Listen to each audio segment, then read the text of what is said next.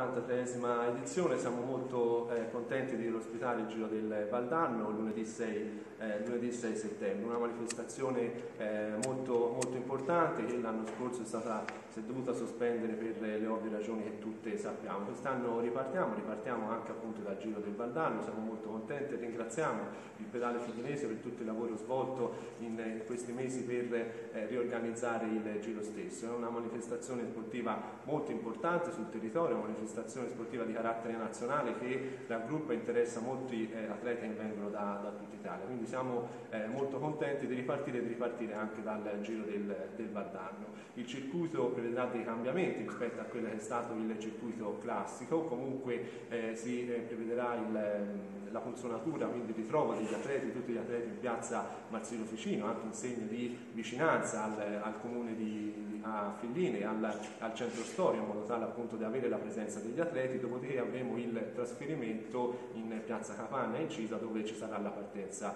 eh, ufficiale.